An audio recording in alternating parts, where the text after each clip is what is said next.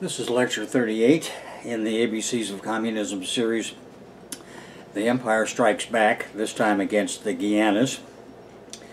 Uh, and when you get your book, it, it's going to be chapter 55 in the 2016 version. Now, when we concluded our discussion of Guyana in chapter 36, that last time, and lecture 19 in this series, Janet Rosenberg Jagan had resigned because of failing health and been succeeded by her finance minister Bharat Jagdeo, whom she had picked to be her successor.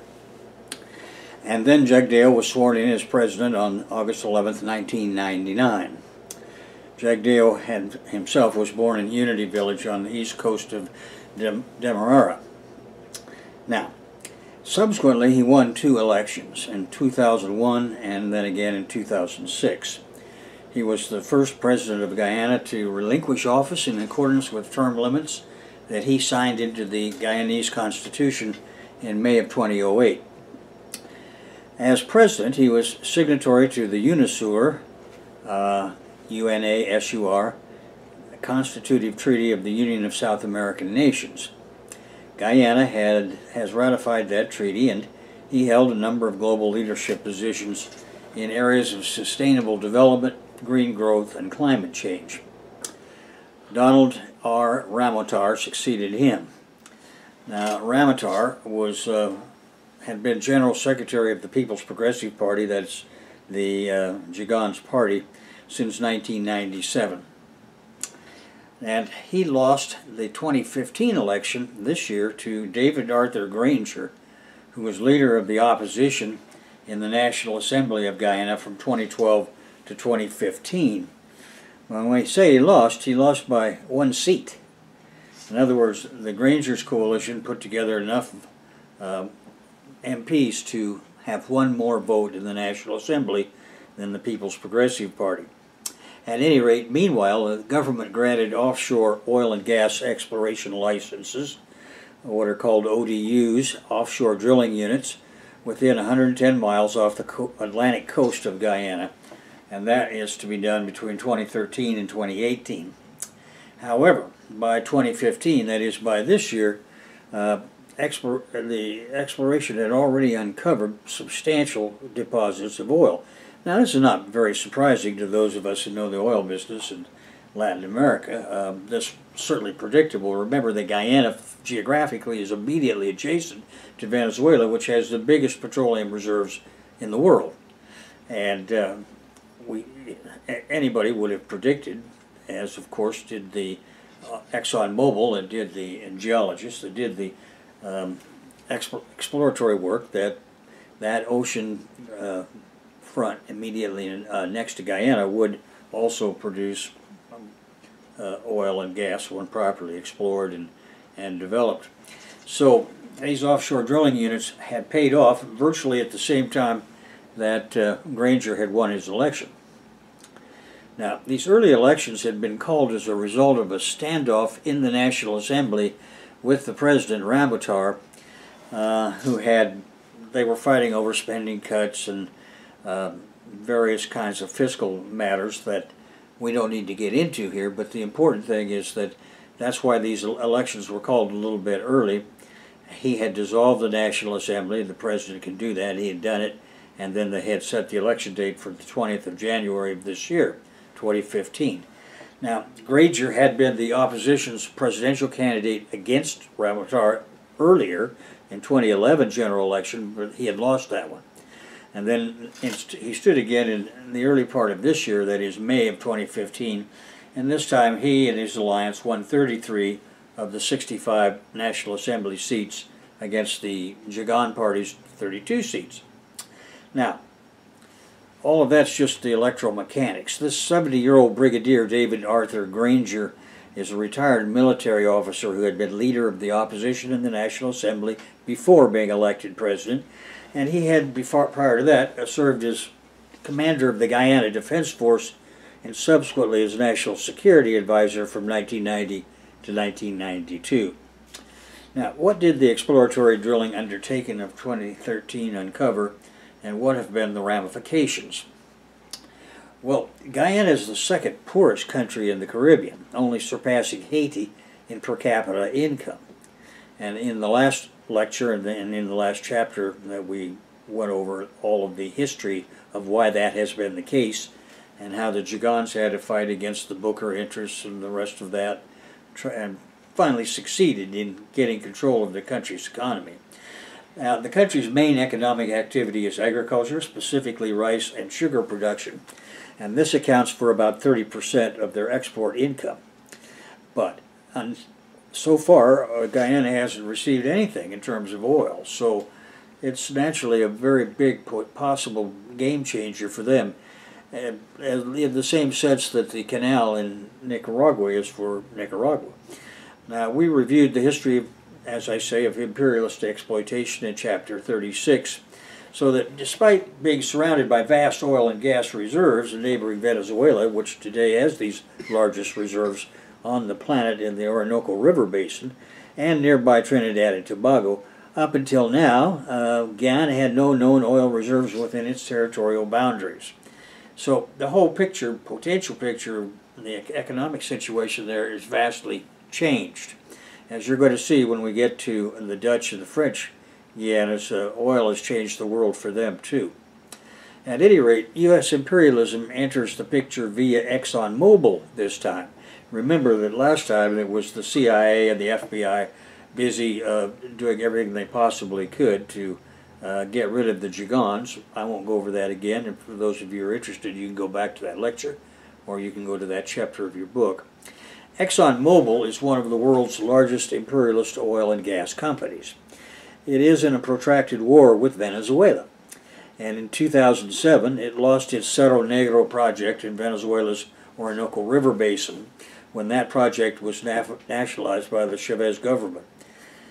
Uh, the Orinoco River Basin had reserve estimates at that time of over 300 billion barrels of heavy crude petroleum. And two companies, ConocoPhillips and ExxonMobil, had had their interests prior to being seized by the Bolivarian government. Now, they, they in turn have sued Venezuela over the nationalization.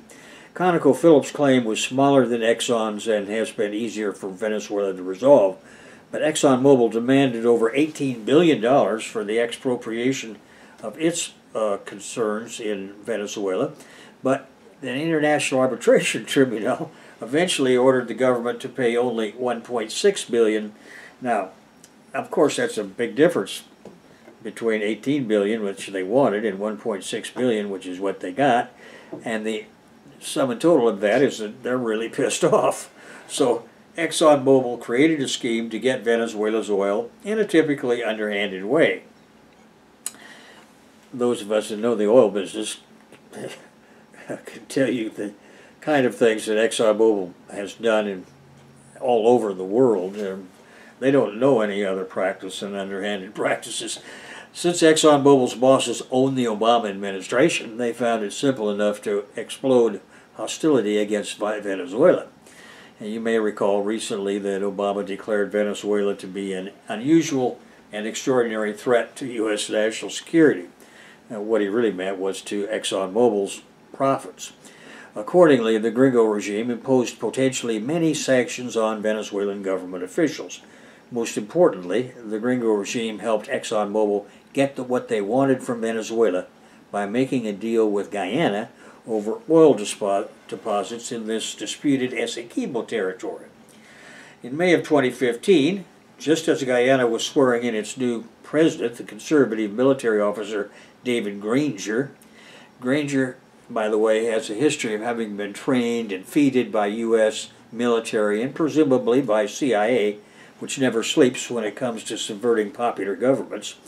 Um, and this is the way the U.S. Army treats all of the military officers that it can get its hands on in Latin America, always has, um, trying to impress them in one way or another. And um, very often they've been successful, and they've been pretty successful with Mr. Granger too, apparently. According to recent reports, these deposits that have been found by ExxonMobil in their Liza 1 exploratory well are estimated to be about 700 million barrels of oil in that field alone. and that today is worth about 40 billion US dollars. The find could be a major game changer for Guyana, representing more than 12 times its current economic input. That is, if the oil actually belonged to Guyana instead of Venezuela.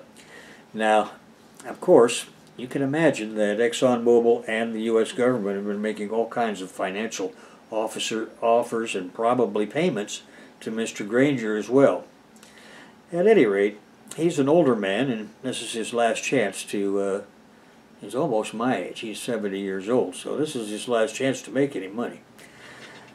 Gringo political maneuvering. On January 26th of this year, 2015, U.S. Vice President Joe Biden hosted the first Caribbean Energy Security Initiative conference. The objective to get compliant heads of state and willing officials from Caribbean nations together with imperialist executives in Washington. Quote, creating conditions to attract private sector investment, unquote, is what they called their maneuver. Biden made the true objective clear when he declared, quote, whether it's the Ukraine or the Caribbean, no country should be able to use natural resources as a tool of coercion against any other country, unquote. Biden was referring to Venezuela and its Petrocaribe program that provides subsidized oil and gas to Caribbean nations at virtually no upfront cost. They do that by allowing, they, they give you the oil right now, give you a 20 year contract where you can pay it back without interest as you can afford to do it once your economy has developed. Now, that's something that's really been hard for anybody to turn down for obvious reasons, and it's been very successful. Petrocaribe uh, has been fundamental in aiding development in the region during the last 10 years since its creation, and it's a threat to imperialist objectives in the Caribbean for obvious reasons, and an affront to traditional corporate exploitation of small developing nations. Of course, Biden et al. had to be careful here because the Caribbean countries love Petrocaribe. Therefore, the gringo bosses deftly segued to their idea of bribing whoever they can to get concessions for ExxonMobil and associated imperialist scum. The main conundrum of figuring out how to replace Venezuelan oil and Petrocaribe was on the way to potential resolution when Guyana's new president declared the ExxonMobil find to be Guyanese.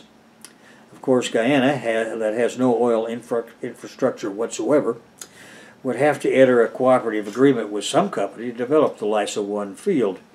Granger, a former instructor at the U.S. Army War College, made a secret trip to the U.S. just three days after taking office in May. Now, one assumes they tried to bribe him with something to give ExxonMobil the right to develop the Liza 1 field, because immediately upon his return to Georgetown, ExxonMobil announced that their Liza 1 field was in Guyana's territory what in fact is the geographic situation where the oil exploration rig Deepwater Champion made its first major discovery. Well, that discovery is in the large Stabroek block in the disputed coastal territory. Now, the ramifications of all of this are that the Venezuelan government warned Exxon to leave the area, citing its claim over the Essequibo territory, and the ongoing dispute with Guyana subject to UN mediation. But ExxonMobil paid no heed to Venezuela, following President Granger's lead in openly defying the Geneva Agreement and Venezuela's calls to solve the conflict through diplomacy, involving the United Nations good offices in the resolution of the centuries-old dispute. UN Secretary General Ban Ki-moon has pledged to send a commission to both Venezuela and Guyana to seek resolution for a problem that now, as Washington hoped, is dividing the region. President Maduro and his foreign minister, Delcy Rodriguez, have been making their case before regional leaders, encouraging other Caribbean nations to support their claim over the Essequibo. Now, whether the UN involvement is, is going to successfully arbitrate that dispute is currently a matter uh, in question. And in the meantime, Guyana continues to aggressively push forward with Exxon to pursue what could become the largest oil theft in the Americas. In a diplomatic visit to St. Vincent and the Grenadines, Venezuelan President Nicolas Maduro pledged new resources to that island nation, and proposed a special economic zone in the Caribbean to strengthen regional trade. The Venezuelan leader visited Antigua, Suriname, St. Lucia, and Grenada to discuss possibilities for a powerful commercial economic zone in the region to protect against the U.S. monopoly. And of course, Maduro has Venezuelan oil to back it up. Ideas for domination of our peoples are recycled. The old ways of domination now wear new masks, warned Maduro in a meeting with top government officials in St. Vincent. We have what it takes, he continued emphatically, pointing to the existing ties forged by the late Hugo Chavez in, in creating the Bolivarian Alliance for Peoples of Our America, ALBA, ALBA, of which seven Caribbean nations are currently members. Additionally, Venezuela's Petrocaribe Alliance has for almost a decade supplied 18 neighboring countries with fuel and favorable terms for payment, such as low interest loans and delayed payment for as long as 20 years, while investing in community projects including hospitals, schools, highways, and homeless shelters. Maduro checked up on a number of such projects initiated by his predecessor, Chavez, including a $32 million fuel storage and distribution plant named after the late president, which currently provides energy for over 90% of St. Vincent, according to official data. The head of state also visited the soon to be opened Argyle International Airport, which received substantial support from Petrocaribe in 2008. Quote, there should be no doubt in our minds that Petrocaribe today is the backbone of the energy, social, and economic development of our region, unquote, said Maduro. And he's now offered to make this available to Guyana. However, what he's dealing with is a president who wants to deal with ExxonMobil, and that would in effect mean giving them at least half of the money that's going to come out of that Essequibo offshore field. The Venezuelan leader said also that he was seeking a regional hub to serve as the center for construction of more than 50 homes to be financed by the Oil Alliance. He also pledged 7,500 laptops to be distributed to the island nation's government. He's talking about St. Vincent. Despite their broad popularity among member states, Alba and Petrocaribe have met with U.S. disapproval. In January, at a meeting of Caribbean heads of state in Washington, Vice President called Joe Biden called Petrocaribe a tool of coercion in the region. This is one reason why, of course, I think we mentioned in the last lecture, the U.S. is currently preparing an invasion of Venezuela, which will require its entire southern, what, the, what it calls Southern Command. And it's moving CIA agents out of Asia, uh, at least, and other places, I suspect, uh, into places like Suriname and French Guiana uh, and Guyana proper in, in order to further this plot to invade Venezuela. In September 2011, Guyana made an application before the UN Commission on the limits of the continental shelf in order to extend its continental shelf by another by a further 150 nautical miles. Since the Commission requested the areas to be considered cannot be subject to any kind of territorial disputes, the Guyanese application disregarded the Venezuelan claim over Guyana by saying that, quote, there are no disputes in the region relevant to the submission of data and information relating to the outer limits of the continental shelf beyond 200 nautical miles. Well, of course, there are there is this dispute, so that's another matter that's going to come up. Venezuela sent an objection to the Commission, rejecting the Guyanese application and warning that Guyana had proposed a limit for its continental shelf, including the territory west of the Essequibo River, which is the subject of a territorial sovereignty dispute under the Geneva Agreement of 1966, and within this framework, no matter for the good offices of the Secretary General of the United Nations. Venezuela also said that Guyana consulted its neighbors Barbados, Suriname, and Trinidad Tobago before making the application, did not do the same with Venezuela. Such a lack of consultation with the Bolivarian Republic of Venezuela, serious in itself in that it violates the relevant rules, is inexplicable insofar as the coast, whose projection is used by the Republic of Guyana in its extent, attempt to extend the limit limits forms part of the disputed territory over which the Venezuelan demands land reiterates its claim to sovereignty rights. And that was the official Venezuelan communique. Guyana has also awarded oil exploration rights in the disputed maritime areas to ExxonMobil. And this, of course, has created more um, clashes with Venezuela. So that in October, October 10th to be precise, about a month ago, the Venezuelan Navy detained an oil exploration vessel containing seafloor surveys on behalf of the government of Guyana. The ship and its crew were escorted to the Venezuelan Margarita Island to be prosecuted. The Guyanese Ministry of Foreign Affairs said the vessel was in Guyanese water, but its Venezuelan counterpart sent a diplomatic note to Guyana stating that the ship was conducting oil research in Venezuelan waters with no authorization from the country and demanded an explanation.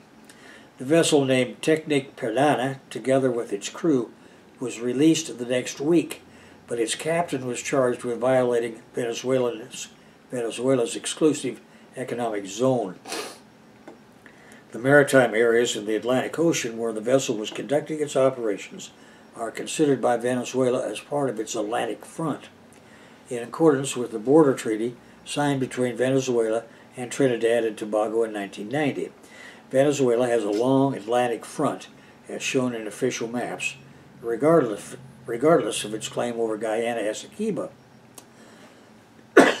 Despite diplomatic protests from Venezuela, the government of Guyana awarded the U.S. Oil Corporation, ExxonMobil, a license to drill for oil in the disputed maritime area in early 2015. That's when it granted the license. no drilling has started yet.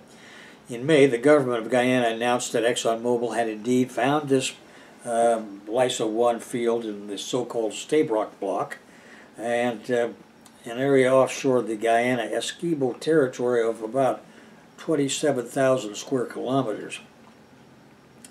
The company announced that further drillings would take place in coming months to better evaluate the potential of the oil field. Venezuela responded to this declaration with a decree on May 27th that includes the maritime area in its dispute in its national maritime protection sphere, thus extending the area that the Venezuelan Navy, Navy controls in the disputed area. This in turn caused the government of Guyana to summon the Venezuelan ambassador. And any kind of military showdown between these two countries, uh, it's not possible for Guyana to stand up to Venezuela unless, of course, they can get some help from, guess who, gringo imperialists. Tensions have further intensified since, and Guyana withdrew the operating license of Conviasa, the Venezuelan national airline, stranding a plane and passengers in Georgetown. Okay, you can see that there's a real mess going on within Guyana, and uh, we won't. What happens there is going to depend in part upon the forthcoming gringo invasion of Venezuela and upon their also their ongoing activities on the other side of Guyana. So this takes us to the empire striking back against Suriname. Now Suriname we visited in our initial survey of the Guianas when it was known as Dutch Guiana. Today it is independent and the smallest independent country in South America. Geographically it is situated on the Precambrian Guiana Shield and lies between latitude 1 and 6 degrees north and longitudes 54 and 58 degrees west. The country consists of two main regions, the northern lowland coastal area, above the line Albina, Paranam, Wageningen, is cultivated, and most of the population lives there. The southern part is tropical rainforest, transitioning to sparsely inhabited savanna along the border with Brazil. This section is about 80% of the nation. The two main mountaintop ranges are the Bakhuis Mountains and the Van Ash Vawish Mountains. Julienda Top is the highest mountain in the country at 4,219 feet above sea level, and other mountains are uh, then listed. I won't bother going over here because I don't think they'll mean that much to you. Suriname borders French Guiana to the east and Guyana to the west. In the south, it borders on Brazil, and in the north, it opens to the Atlantic Ocean. The borders with French, Guiana, and Guyana are continuing subjects of dispute. not violent dispute, but they're in question. If you've ever been to this part of the country, you know that, uh, I mean, of the world, that uh, once you get into these jungle areas, it's pretty hard to be sure where you are, or what you're doing. Lying 2 to 5 degrees north of the equator, Suriname has a temperature inveterate hot, wet, and humid tro tropical climate. It always feels hotter than the registering temperature. The year has two wet seasons from April to August and November to February, and two dry seasons from August to November and February to April. Located in the upper Coppename River watershed, the Central Suriname Nature Reserve has been designated a UNESCO World Heritage Site. There are a number of remarkable national parks in this country, and then I go ahead and list those, and nature reserves. And finally, there is the Sipaliwini Nature Reserve on the Brazilian border. At any rate, on December 25th of 1975, the Dutch government granted independence to the Guiana colony, then led by the NPS, a largely Creole party. Party of that grant was a 10-year aid program worth one and a half billion U.S. dollars.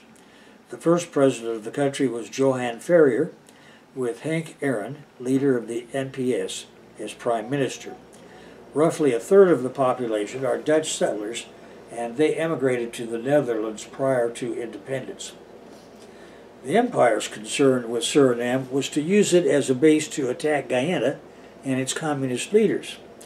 However, by 1998, the empire was far more concerned with the election of Hugo Chavez in Venezuela and was now planning to use Suriname as a base to attack Venezuela. And in fact, it did use its Suriname bases in the 2002 coup attempt it launched against Chavez.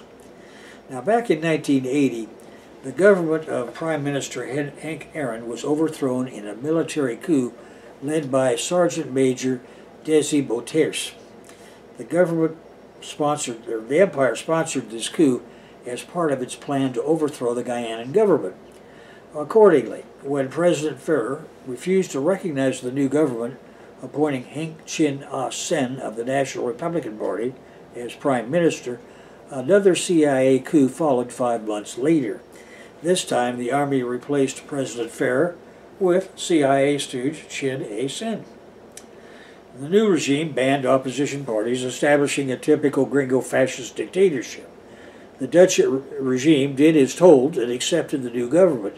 However, relations between Suriname and the Netherlands collapsed when the CIA directed the army to kill 15 members of the political opposition on December 8, 1982 in Fort Zeelandia.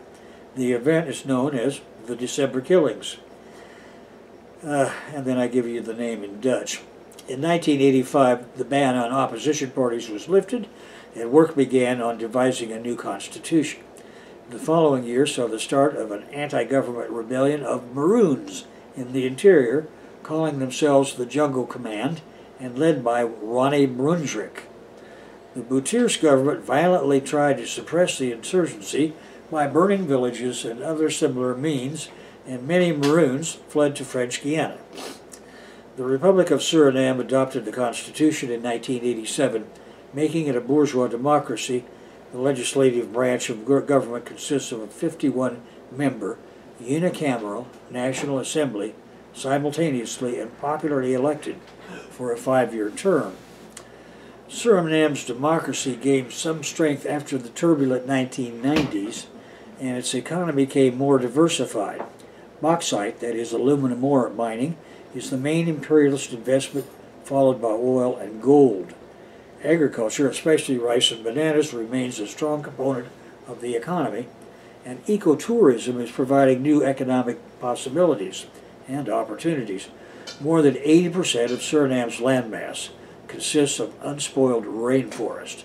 The establishment of the Central Suriname Nature Reserve in 1998 is the mainstay of ecotourism and signaled Suriname's commitment to conservation. The bauxite industry accounts for more than 15% of GDP and 70% of export earnings. Other main export products include rice, bananas, and shrimp. Suriname has recently started exploiting some of its sizable oil and gold reserves, and about a quarter of the people work in the agricultural sector. The Surinamese economy is very dependent on commerce. Its main trade partners being the Netherlands, the U.S., Canada, and some Caribbean countries, mainly Trinidad and Tobago, and the former islands of the Netherlands Antilles. In the most recent elections held on Tuesday, 25 May 2010, the Mega Combinatie won 23 of the National Assembly seats, followed by the National Front with 20 seats. A much smaller number, important for coalition building, went to the A Combinatie and the Volksalliantie. Negotiations are ongoing between parties regarding the formation of coalitions.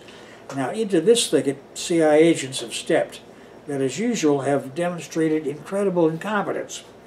One reason for their inept tactical deployment has been their inability to comprehend a strategy not based on simple outright bribery. A person would have to have some education to work inside the politics of Suriname. For example, the president of Suriname is elected for a five-year term by a two-thirds majority of the National Assembly. Alternatively, failing that, by a majority of the People's Assembly.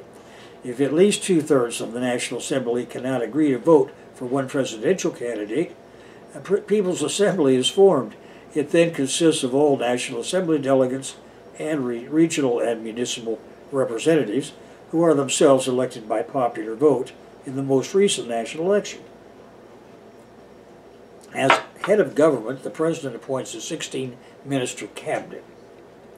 A vice president, normally elected at the same time as the president, needs a simple majority in the National Assembly or People's Assembly to be elected for a five-year term. There is no constitutional provision for removal or replacement of the president, president unless he resigns.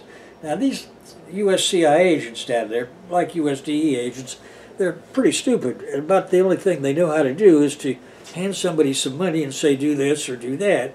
Uh, when you start putting them through a, a, bunch of steps, they get confused and it's really hard for them. Now, in the old days, they used to have suitcases full of cash, so they just hand out money to everybody. But uh, then the problem becomes, what if these guys still fighting among themselves? You've paid them all, but what do you want them to do? So, uh, in Suriname, they've been kind of confused. The judiciary is headed by the Court of Justice, the Supreme Court. This court supervises the magistrate courts. Members are appointed for life by the President in consultation with the National Assembly, the State Advisory Council, and the National Order of Private Attorneys. In April 2005, the Regional Caribbean Court of Justice, based in Trinidad, was inaugurated as the final court of appeal, and it replaced the London-based Privy Council. Well, the CIA throws Desi Bouterse under the bus. President Desi Bouterse was sentenced in the Netherlands to 11 years of imprisonment for drug trafficking. He is also charged in the December murders case that you recall was the assassination of his opponents in Fort Zeelandia, Paramaribo in 1982. These two cases place a constraint on relations between the Netherlands and Suriname. Consequently, the Dutch government maintains only the contact necessary to protect its nationals that still live there with the current CIA installed president. There are still Dutch colonials in Suriname who have to be looked after due to, to the Dutch colonial history and the re resulting special relationship with the Netherlands. Well, in 1991, the U.S. replaced the Netherlands completely as the imperialist boss of Suriname. Now, the two countries worked together through the Caribbean Basin Security Initiative that we had just discussed, and the U.S. President's Emergency Plan for AIDS Relief, which initials are PEPFAR. Suriname also receives military funding, of course, from the U.S. Department of Defense, which is one other way of saying that legally providing bribes directly to Army officers, uh, and operations are exclusively run by the U.S. CIA. European imperialism is conducted via traditional intelligence agencies and businesses via the EU, EU CELAC, and EU CARIFORUM dialogues or forums utilized. Suriname is party to the Cotonou Agreement and the partnership agreement between the members of the African, Caribbean, and Pacific Group of States and the European Union. And there are independent capitalist endeavors. On 17 February 2005, the leaders of Barbados and Suriname signed the agreement for the deepening of bilateral cooperation between the government of Barbados and the government of the Republic of Suriname. And in April 2009, both nations formed a joint commission in Paramaribo, Suriname, to improve relations between both countries and to expand into various areas of cooperation. And this is a, an area where independent capitalists in both Barbados and Suriname want to get involved in joint operations with each other. Since the first meeting, a second one was held in March of 2011 in Dover, Barbados. At the second meeting, several areas of mutual interest were reviewed, including agriculture, trade, investment, and international transport.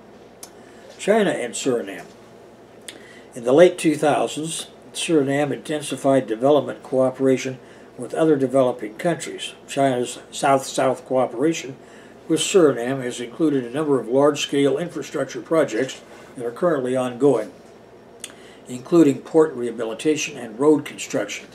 And Brazil signed agreements to cooperate with Suriname in education, health, agriculture, and energy production. Well, after assuming power in the fall of 96, the Wijdenbosch government ended the structural adjustment program of the previous government, claiming it was unfair to the poorer elements of society. Tax revenues fell as old taxes lapsed, and the government failed to implement new tax alternatives. By the end of 97, Dutch development funds had long since dried up, and the Surinese government relations with the Netherlands almost gone, the CIA stepped in and took over. Nevertheless, economic growth slowed in 98, with decline in mining, construction, and utility sectors. Rapid government expenditures, poor tax collection, collection a bloated civil service, and reduced foreign aid in 99 contributed to the fiscal deficit estimated at 11% of GDP.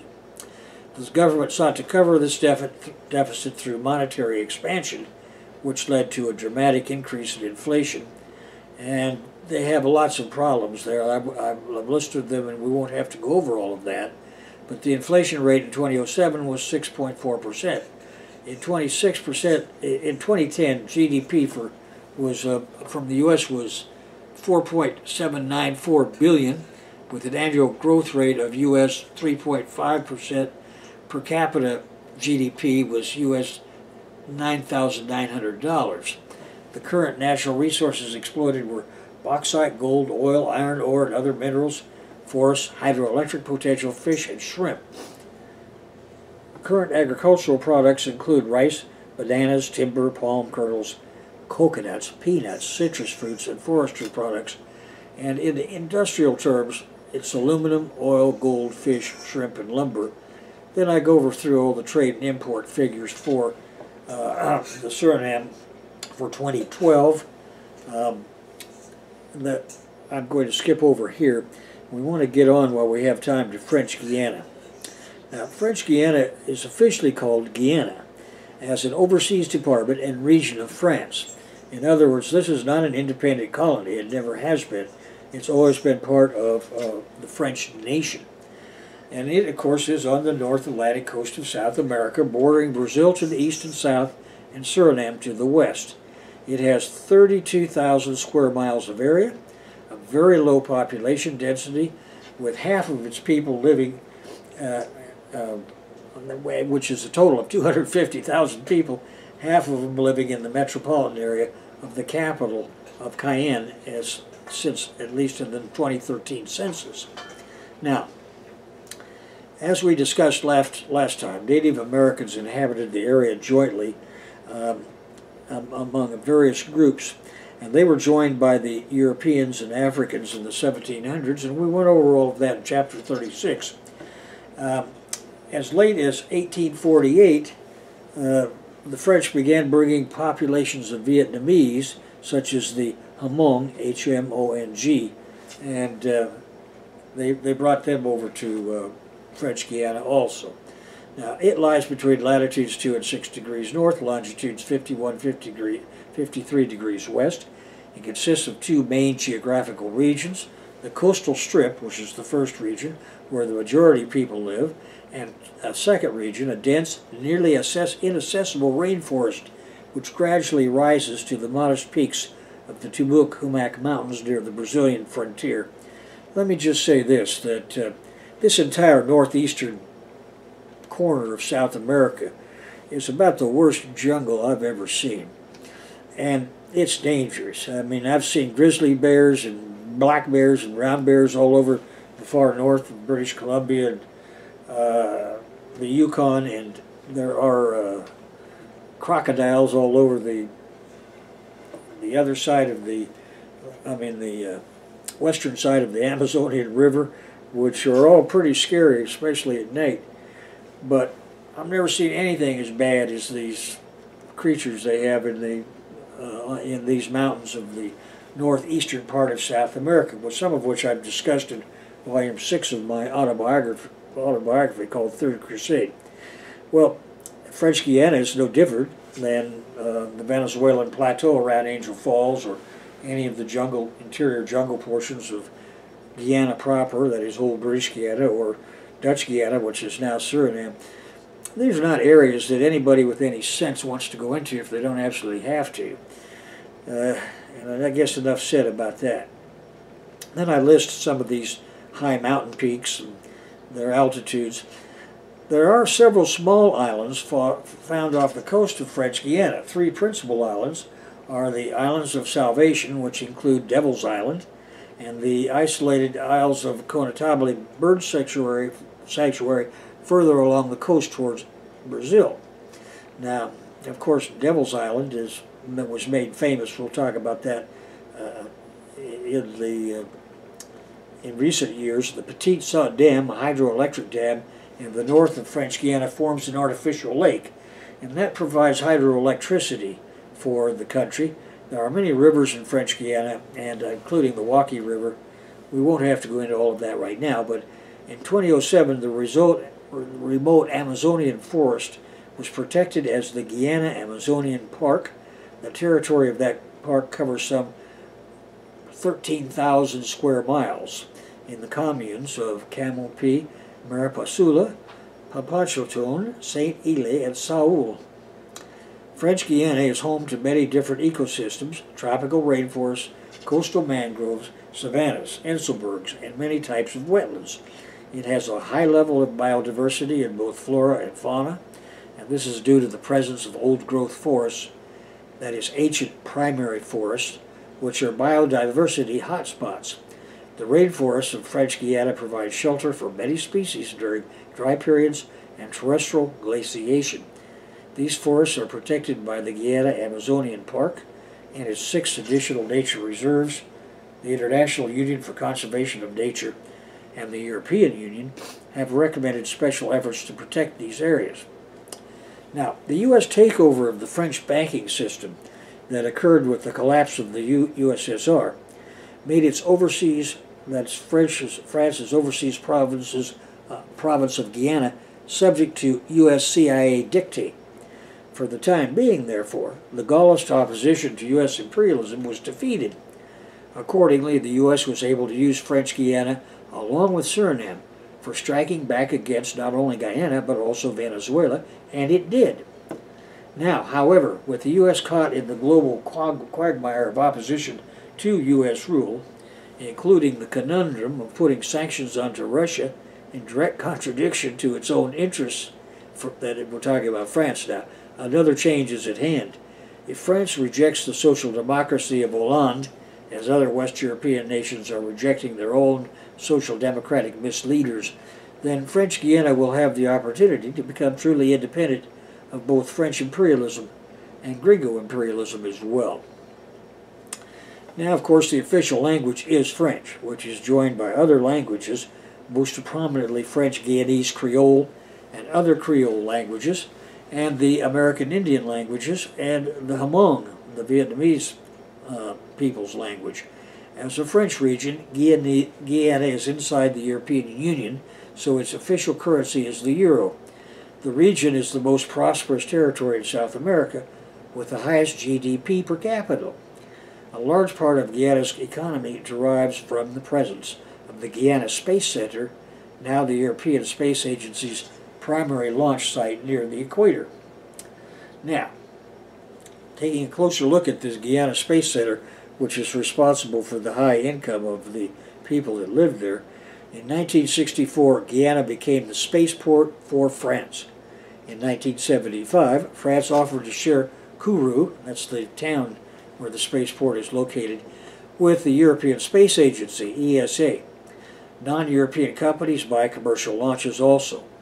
The ESA pays two thirds of the spaceport's annual budget. It financed the upgrades made during the development of the Ariane launchers. That's A R A A R I A N E.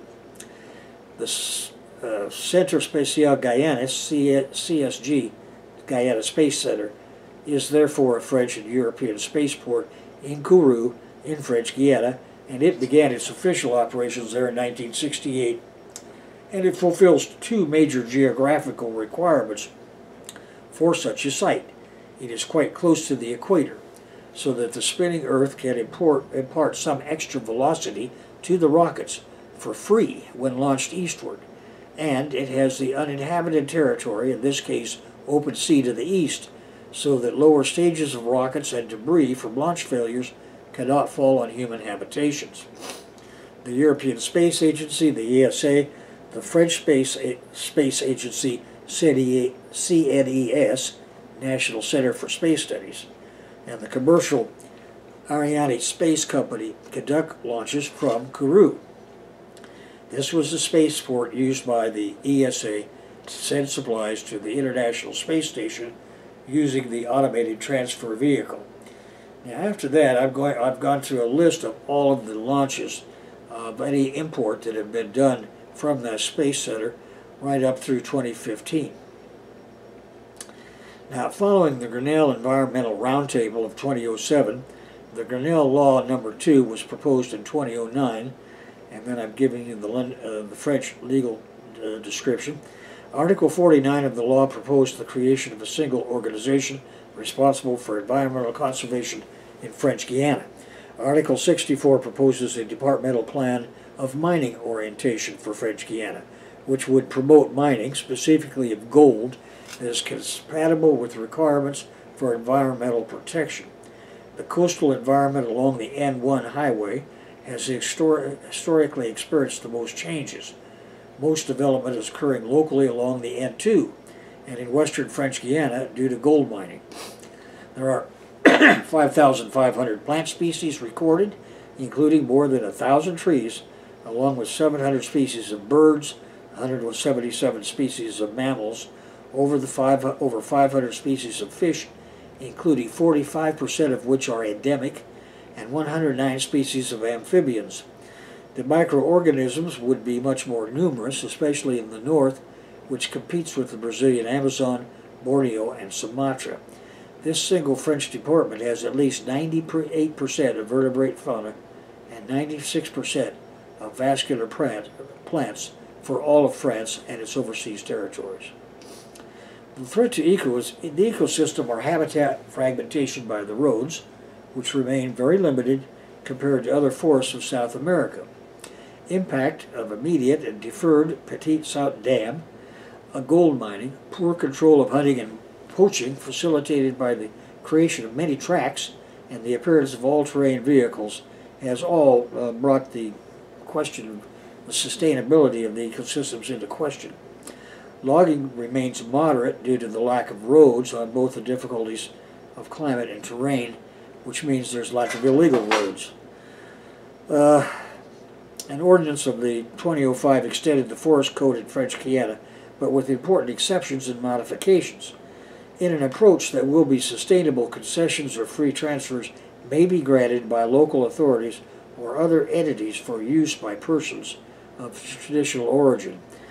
But the means of doing so are no longer tra uh, traditional means. So the Guyanese ecosystem is vulnerable and the impacts of logging and hunting are important. The beaches are a natural reserves of the Amana, the joint Awala Yalima Papu in the west, and the exceptional marine turtle nesting site there.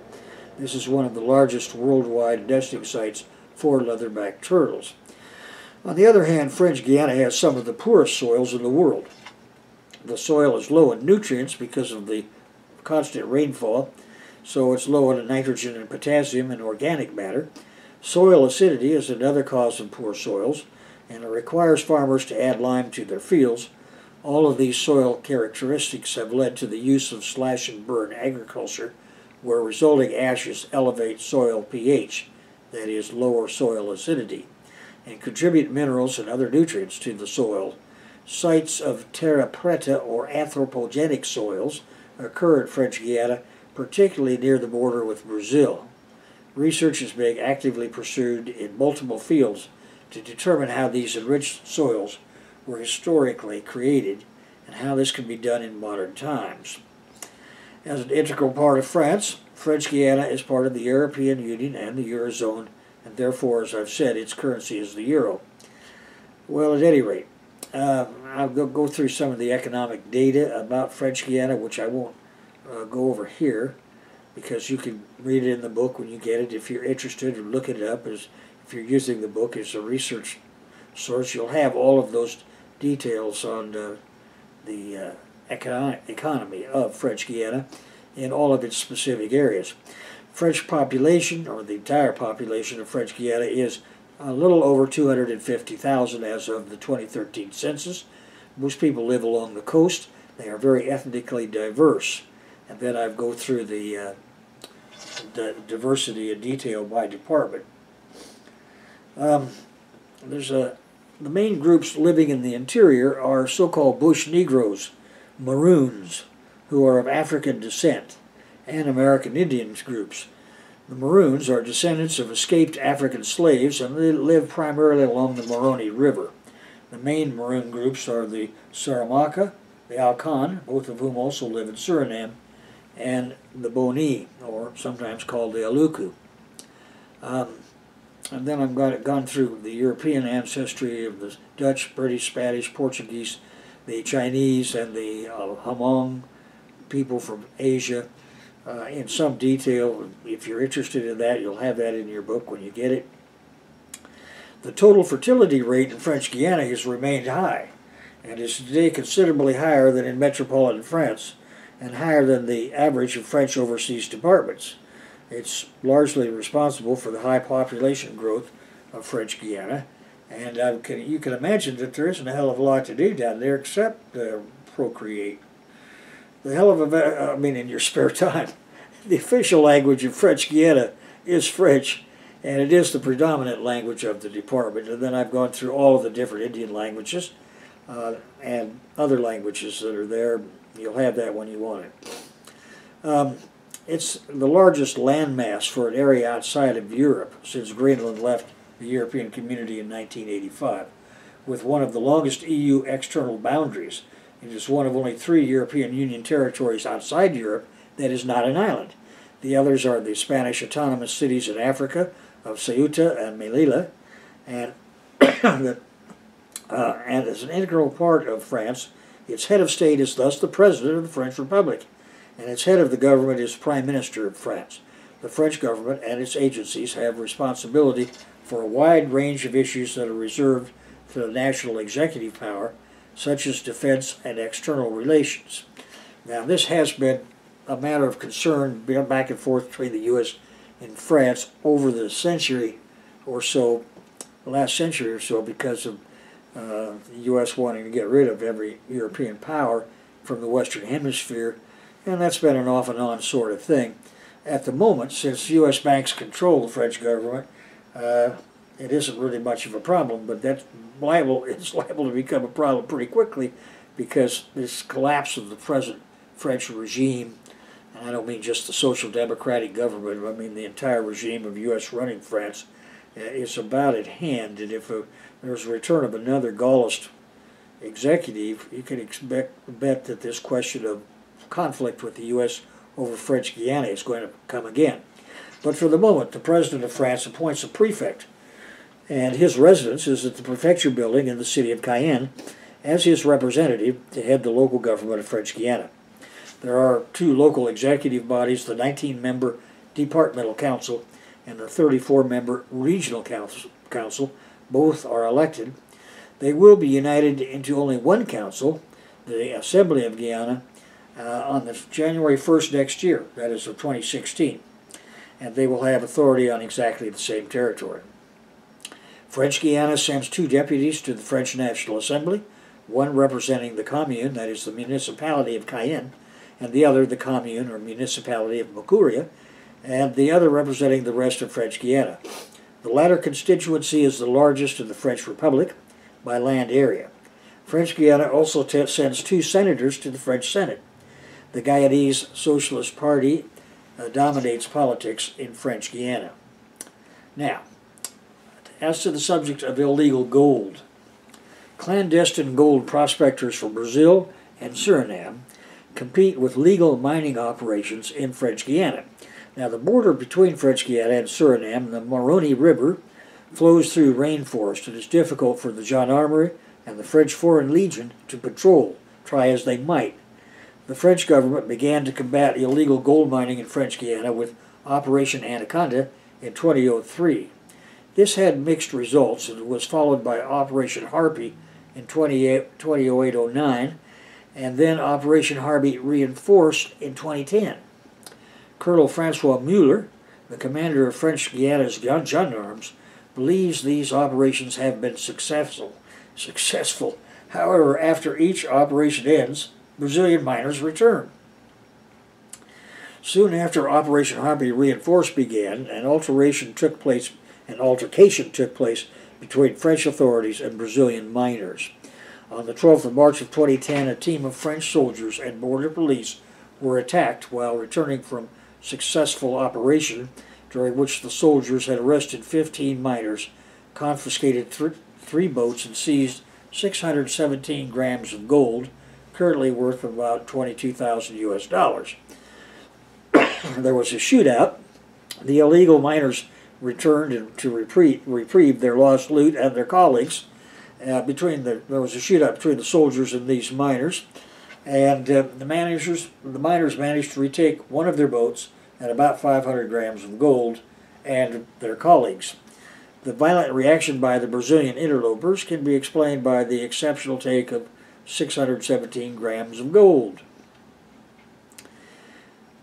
Well, which is exceptional to them. At any rate, in terms of air service, French Guiana has its main airport is Cayenne, um, and it's located in the commune of Maturia, southern suburb of Cayenne. There are two flights a day to Paris, to the Orly Airport, served by Air France and Air Caraïbes. The flight time from Cayenne to Paris is 8 hours and 25 minutes, and from Paris to Cayenne it's 9 hours and 10 minutes. There are also flights to Fort-de-France, Pointe-à-Pitre, Port-au-Prince, Miami, and Belém. Ocean connections.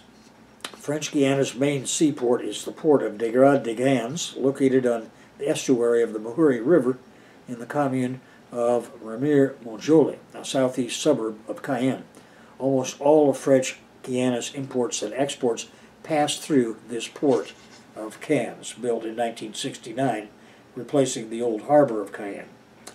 Now, the land connections are that there is an asphalt road from Regina to St. George's to a town called Oiapoque, a town by the Brazilian border that was opened in 2014. This completed the road, road from Cayenne to the Brazilian border. It is now possible to drive on a fully paved road from St. Laurent du Maroni to the Surinese border to St. George's Oiapoque on the Brazilian border. The Oiapoque River Bridge over the Oiapoque River, marking the border with Brazil, opened in December two years ago. This bridge is the first land crossing ever opened between French Guiana and Brazil, and indeed between French Guiana and the rest of the world. No other bridge crosses the Oiapoque River, and no bridge crosses the Maroni River, marking the border with Suriname. There is a ferry crossing, however, at Albina to Suriname, so you can drive your car onto that and go across that way. Now, with the Oiapoque River Bridge, it is possible to drive without interruption from Cayenne to Macapa, the capital of the state of Amapa in Brazil. And in Cayenne, we have 106,000 of the inhabitants of the country in that urban area. And uh, if you take in what they call the metropolitan area of Cayenne, you could get it up to 121,000. Uh, then I go through the town populations and the distribution of military and security forces, which I won't go over here. But I'll conclude this part about French Guiana with some comments about Papillon. You know the novel Papillon was written by the French convict Henry Charrière in, set in French Guiana, published in France in 1969, describing his escape from the French penal colony. It was an instant bestseller, translated into English from the original French by June P. Wilson and Walter P. B. Michaels. It was published in a 1970 edition by Patrick O'Brian and adapted for a Hollywood film of the same nation, same name. Charrière stated that all events in the book are truthful, allowing for minor lapses in memory. As usual in such cases, there has been a controversy over its accuracy. But I'm not going to go into the controversy because uh, had, having escaped from prison myself in South America, I can tell you that the best thing I ever did was to get sit down and write all of my experiences based upon letters I had written home, and photocopies of letters had been sent to me as soon as I got there.